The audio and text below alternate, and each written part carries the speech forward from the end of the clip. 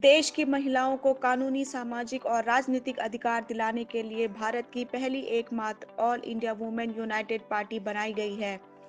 यह पार्टी भारत के संविधान के अनुसार औरतों को बराबरी का अधिकार दिलाने के लिए अग्रसर है। यह बात पार्टी के अध्यक्ष नसीम बानो ने चंडीगढ़ में प्रेस वार्ता में कही। देखिए विशेष मुद्दा तो ये है कि हमारे यहाँ कैंडिडेट्स उतरने की पूरी कोशिश थी, पूरी तैयारी थी, बड़े अवेयरनेस प्रोग्राम पहुँचाएँ, लेकिन आपको पता है इलेक्शन में तो जब जहाँ तक है पैसों की और खर्च की बात आती है तो जो इस वक्त जो नोटबंदी जो हमारे सबसे बड़ी जो है, ये सेटबैक रही हमारी महिलाओं की, जो जिसमें वो नहीं आ पाए। और इसी वजह से जो है कि हम मतलब इस चीज़ को फिर हमने सोचा कि बेटर ये है कि हम अभी इस चीज़ को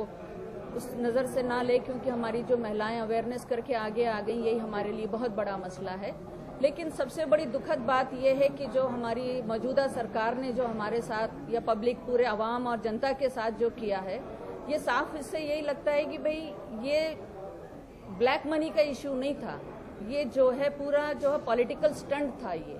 ये जो है पॉलिटिकल स्टंट ऐसा था कि जब पैसे ब्लैक मनी ये करके जब ब्लैक मनी जनता के लिए है और वो खर्च नहीं कर पा रही है तो ये इतने खर्च पार्टियाँ कहाँ से, कौन से बैंक से पैसे निकाल के ये लाखों रुपए खर्च कर रहा है? तो इसकी जानकारी हमें चाहिए, क्योंकि ये चाहते थे कि भाई जितने भी नई पार्टियाँ हैं वो खर्च करेंगे, आगे आएँगे, कि क्योंकि ये हर तरह से इनकी जो पंजाब का सीन है, जो ड्रग्स में जो युवक और महिलाएँ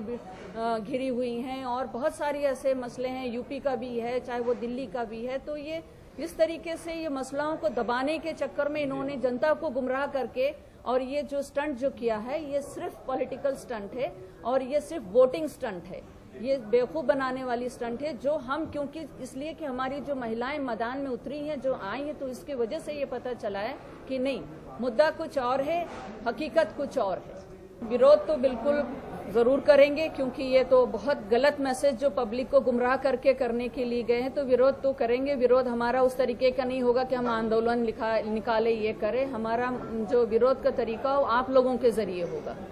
और रही हिमाचल की बात है, बिल्कुल पूरे सीटों पे हम महिलाओं को उतारेंगे, क्योंकि हम चाहते हैं कि महिलाओं में अवेयर हो, वो अपनी भागीदारी और हकदारी के लिए लड़ें, और लड़ने से ही उनका हक मिलेगा, नहीं तो ऐसे हम भागते दौड़ते रह जाएँगे, और हम गिनती जो आज हमारी टेन परसेंट है तो वो ज़ीरो परसेंट में कुछ दिन में नज़र आए